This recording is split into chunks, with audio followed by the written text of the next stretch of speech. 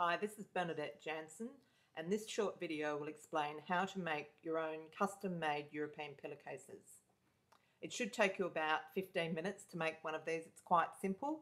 You need to cut two pieces of fabric uh, according to the dimensions given to you on the fact sheet and hem both ends.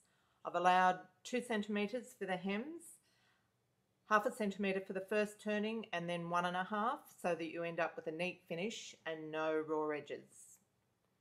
Then you fold it up into the pillowcase shape. You measure both ways, length and width, and check that they're the same so you know it's square. And you make sure the larger overlap is underneath the shorter one.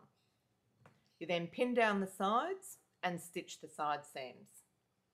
When you've done that, trim the seam allowance so that it's not too bulky and turn the pillow slip the right way out and press the edges so they're nice and sharp. When you've done this, you do a row of top stitching five centimetres in from the edge of the pillowcase.